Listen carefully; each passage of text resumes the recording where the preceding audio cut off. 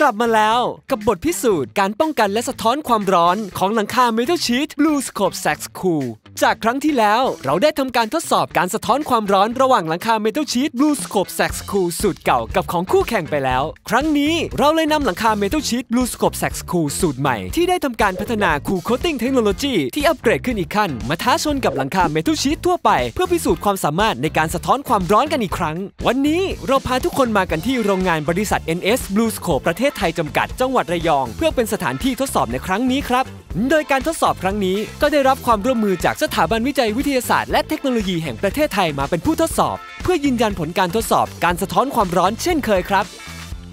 และหลังคาเมทัลชีตที่เราจะนำมาทดสอบกันในครั้งนี้ มีได้กันถึง 4 สี ได้แก่ สีแดง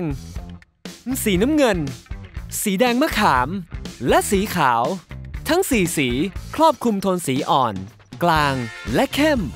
และเครื่องมือที่เราจะนำมาทดสอบหลังคาทั้ง 2 แบบก็จะมีดังนี้ครับ IR เครื่องมือที่จะแสดงถึงอุณหภูมิที่เปลี่ยนไปของการทดสอบ มีกราฟวัดค่าความร้อนที่เราจะทดสอบโดยใช้เวลาทั้งหมด 24 ชั่วโมง และการวัดค่าพลังงาน จากการเปิดเครื่องปรับอากาศไว้ภายใต้หลังคาที่ทดสอบ ทั้งนี้อุณหภูมิที่ได้จากผลการทดสอบ อยู่ภายใต้การควบคุมสภาวะจำลอง ดังนั้น อุณหภูมิจากการใช้งานจริง อาจขึ้นอยู่กับหลายปัจจัย จึงอาจส่งผลให้อุณหภูมิแตกต่างกันในการใช้งานจริงได้ครับ ทุกอย่างพร้อมแล้ว อยากรู้กันแล้วใช่ไหมล่ะครับว่า ระหว่างหลังคา Metal Sheet Blue Scope Sax Cool สูตรใหม่ที่อัปเกรดขึ้นอีกขั้น กับหลังคา Metal Sheet ทั่วไป ผลจะออกมาเป็นอย่างไร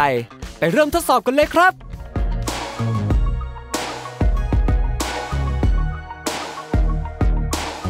จากผลการทดสอบพบว่า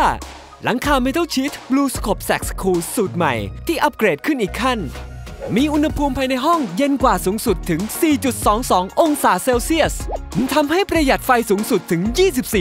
24%ทำให้มั่นใจได้เลยครับว่า หลังคา Metal Sheet Blue Scope Sax Cool ที่อัปเกรดขึ้นอีกขั้น สามารถสะท้อนความร้อนได้ดีกว่าหลังคา Metal Sheet ทั่วไปอย่างแน่นอน หลังคา Metal Sheet Blue Scope Sax Cool เพราะ Cool Coating Technology ที่อัปเกรดขึ้นอีกขั้น สะท้อนความร้อนในบ้านให้เย็นขึ้น 4 องศา บ้านเย็น ใช้ Blue Scope Sax Cool